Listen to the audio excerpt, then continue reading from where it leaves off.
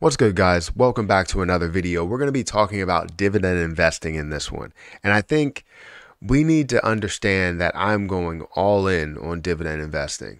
I know there's a lot of people that, you know, may be all for, you know, my crypto content or maybe for, you know, some of the stock related content like AMC or talking about Meta or, or whatever, right? Specific positions. But dividends are kind of where it's at. When you think about consistent income, you think about being able to, um, you know, gradually gain something, compound interest, the things that we all would love to have. Dividend investing is that and so much more. So I wanted to kind of talk about dividend investing and um, tell you about why I'm going all in, where I'm making these moves, and how much I plan to have you know, in the future because I am going to be making some newer investments and you guys are getting kind of the the the scoop on what investments I'm making because they are not actually live yet, but we will talk about those investments and you know why we are deciding to make those.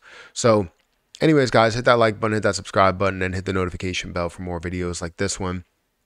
Also, if you want to check the links down below and you guys want to start your own dividend journey, you can do that by signing up for Robinhood. You get a free stock when you sign up for Robinhood. It could be valued all the way up to $200.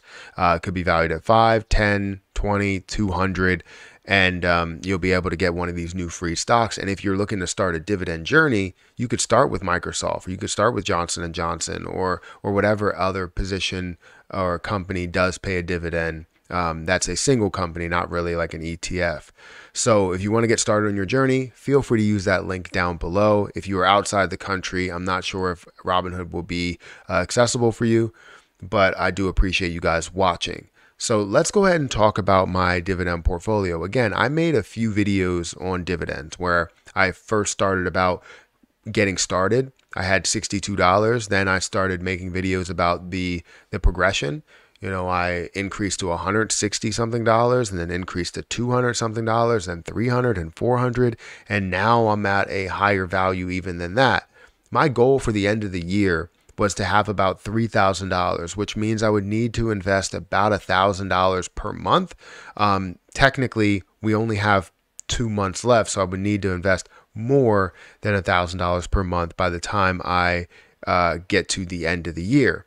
So I need some aggressive moves here in order to invest that much because I typically don't have a free $1,000 to throw into uh, the stock market. I would usually throw a little bit into the crypto market or a little bit into long term investments, and I usually don't have that much. So I want to figure out how we can get to that point and gather a bunch to put into this dividend investing portfolio and hopefully you guys can see a, a ton of value as it grows over the months, over the years. So, anyways, I made that video. And then more recently, I made a video talking about my first dividend payment. I received a 22 cent dividend payment from SPHD for 1.25 shares that I did have.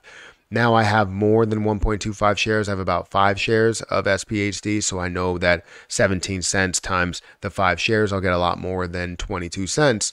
But you know, we understand that uh, you want to be able to diversify and uh, build your dividend investment portfolio. So, um, when I look at my uh, portfolio, this is what it looks like. I have $770.35. I did just get a free stock, um, you know, valued at about 500 or $5, not $500, $5. And I bought more Microsoft with it. Every time I get one of those um, free stocks, I'm going to buy Microsoft with it, whether it's five or 200. I'm going to buy Microsoft, and that's going to pay me a uh, small dividend, but still a dividend nonetheless. So the positions that I have right now is O, Realty Income, uh, Microsoft, SPHD, Walmart, and Nike. Three different positions that are kind of that are single uh, stock, single companies, while also looking at you know SPHD, which is you know, um, you know, an ETF there. So, you know, you have multiple, um, you know, things that are included in that, and then also realty income. So, um, I am going to be making two more purchases, which is uh, PRF, which is a you know Investico ETF. So Investigo FTSE RAFI US 1000 ETF. Um, I've seen the growth over this, and the reason why I'm investing into this is because they do have a high dividend, um, but then also shows some consistency over time while it stays kind of flat. Um, over time, you see that within five years, you start seeing a little bit of a jump, right? It's up, you know, $8 or 37% over, you know, five years. And I hope that growth really continues.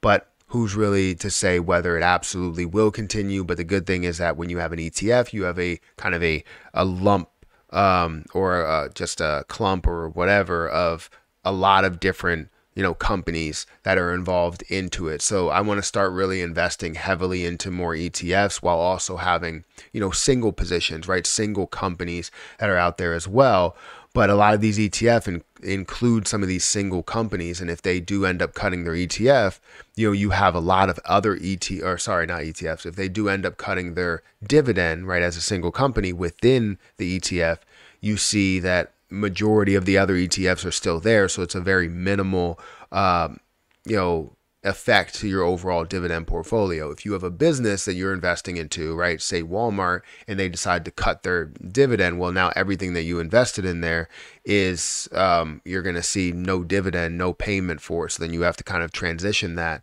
And who's to say that you're now transitioning it at a higher price? Most likely you're transitioning at a lower price. And another one that I have here is SPYD.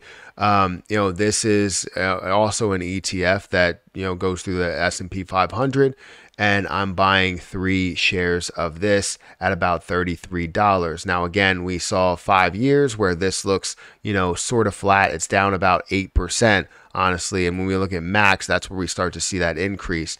I don't know how long max actually is. I guess this is from 2015, 2016. So throughout time, we can expect that this is going to remain flat or even um, increase a slight bit. I don't care about it.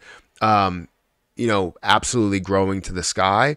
What I care more about is it remaining consistent and gaining in a dividend throughout time. So I have a a buy order to where I'm going to buy three here as well, which does pay me, um, you know, a dividend of uh, where's it at? It's somewhere here. 30 day yield of 5.34%. So a higher dividend yield. And I'm excited about that one because then we'll see what we can gain every single month because it's a 30 day yield. So again, this is what I stand on. I have a total of $770 um, and 35 cents at the moment. Again, if you guys want to join Robinhood and start your dividend journey as well, all you have to do is use my link in the description and you'll be able to sign up for Robinhood and get your free stock and start your journey today. Um, as long as all you have to do is just sign up and link your bank account and you'll be good. But uh, guys, I'm going to get out of here. Hit that like button, hit that subscribe button. Let me know if you are investing into dividends or if you're interested in it. And if you want to know more about it, I will continue to make videos on it. And we can also bring up more information and like the Patreon and different groups and stuff like that. So Thank you guys for watching. I appreciate you guys. Hit that like button, hit that subscribe button, and I'll catch you in the next video. See ya.